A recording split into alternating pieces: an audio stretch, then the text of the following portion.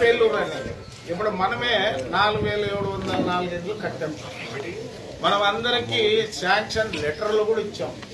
కొంతమందికి అలాట్ చేస్తే వాళ్ళు పాలు కూడా పొంగిచ్చారు చాలా వాళ్ళు ఇచ్చాం పాలు పొంగిచ్చారు కానీ ఇప్పటి వరకు ఎవరికి హ్యాండ్ ఓవర్ చేయలేము తర్వాత ఆల్రెడీ పల్లెటూరులో ఏ ఇంటికి కూడా బిల్ పడడం లేదు. ప్రజల్లో వ్యతిరేకత ఎక్కువ ఉంది. ఈ మధ్య కాలంలో ఈ మధ్య కాలంలో పెన్షన్లు తీసేశారు. రేషన్ కార్డులు ఏ పడిని ఎవరైనా తీసుకో ప్రభుత్వం పైన ప్రభుత్వం చేయాలని పార్టీ అధిష్టానం నిర్ణయం చేసింది. నూట డెబ్బై ఐదు నియోజకవర్గాల్లో ప్రతి గ్రామాన్ని సందర్శించి ప్రతి వార్డుని సందర్శించి సరే పార్టీ జెండా ఎగిరేయండి అనేది వాళ్ళు ఏం చెప్పలేదు. చూస్తే మనకే బాధ వేస్తా ఉంది. నల్లుగా అయిపోయినాయి. మనం అన్ని మన జెండాలకి కలర్ కొట్టి ఆ జెండాలు ఎగిరేద్దాం. ఎగిరేసి ముఖ్య నాయకులందరూ కూడా కలిసి రోజుకు ఒక ఐదారు గ్రామాలు అట్లా మొదట మనం అంతా చేశాం కదా మొదటి నుంచి పార్టీలో.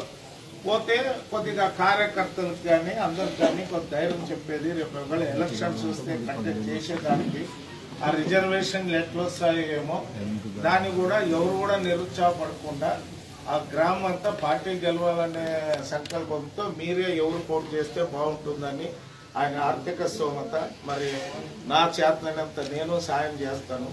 బట్ ఆ రకంగా మనము ఇవన్నీ మాట్లాడేదానికి ఎందుకంటే మనం దాదాపు తొమ్మిది నెలలు అయింది.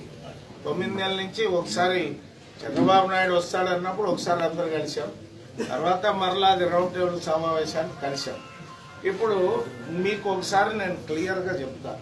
ఎందుకంటే మనం ఎప్పుడు ఉత్సాహంగా ఉండేవాళ్ళు ఎందుకు అంటే చాలా సమస్యలు మనం కొద్దిగా యాక్టివిటీ అయితే సమస్యలు నా- నాకేమొచ్చినా ఐ డోంట్ కేర్ నేనేం భయపడు కొంతమందికి వస్తాయి.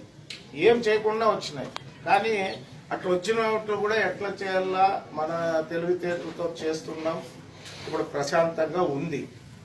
కాబట్టి మనము చిన్నదానికి పెద్దదానికి ప్రతి ఒక్కదానికి గెలుపుకోకుండా ఇది తప్పదు ఇప్పుడు. ఈ అకేషన్ తొమ్మిది నెలలు అయింది పార్టీ ప్రజల్లో కూడా వ్యతిరేకత ఉంది. మనం కూడా ప్రజలు చెప్పాలి. చాలా మందికి చెప్తేనే తెలుస్తుంది. ఇప్పుడు నా దగ్గర ఎవరు వచ్చినా వాళ్ళకి నేను వాళ్ళు మాట్లాడిన తర్వాత ఒక అర్ధ గంట ఏం జరుగుతుంది చెప్తా. ఎందుకు చెప్తాను? మీరు కూడా పోయి చెప్పండి అని చెప్పేది. కాబట్టి మనం అధైర్యపడవలసిన పని లేదు. రాష్ట్రంలో దేశంలో కూడా రాజకీయము వాళ్ళు అనుకున్నట్లు లేదు. ఎందుకంటే Chandrababu Naidu most powerful leader. ఆయనని కడిగితే సమస్యలు వస్తాయనేది వాళ్ళకు కూడా తెలుసు. అది మనం ఇంత పబ్లిక్గా మాట్లాడేది కూడా మంచిది కాదు.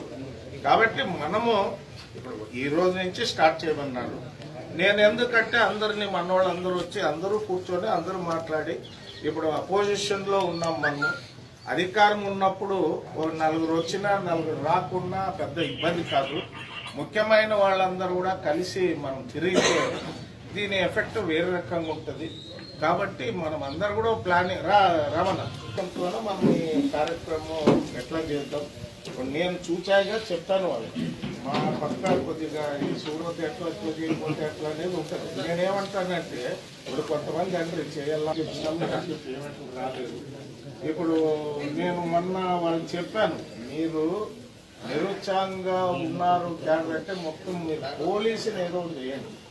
పోలీస్ అనేది కొద్దిగా కంట్రోల్ అయిపోతే అందరిలో ఉత్సాహం వస్తుంది. పోలీసుని కొద్దిగా ఏం చేస్తారో ఎట్లా చేస్తారో ఏం చేస్తారో చూడండి బిల్లులు బిల్లులు హైకోర్టు చేస్తున్నారు పదహైదు పర్సెంట్ ఇంట్రెస్ట్తో ఇమ్మని కూడా ఇచ్చినారు. పదహైదు పర్సెంట్ ఇంట్రెస్ట్తో ఈ పొద్దున ఎవరో ఒక రామనారాయణ గుప్తా వచ్చింది నాకు క్లాస్మేట్ రెగ్యులర్ వస్తాడు. పిల్లలు పడుతున్నాయి రా అని చెప్పాను నేను కొంతమంది పడినాయని. పిల్లలు కూడా రావచ్చు. నిన్న కూడా సార్ టెలికాన్ఫరెన్స్లో కూడా గట్టికి చెప్పినాడు. ఇస్తారని. ఆ గవర్నమెంట్లో కూడా నేను వేరే వాళ్ళు అడిగితే మార్చి లోపల పేమెంట్లు అన్ని చేస్తారు అనేది ఉంది కాబట్టి ఇప్పుడు మనము ఎప్పటి నుంచి మొదలు పెడదాము ఇది జన చైతన్యాలుగా?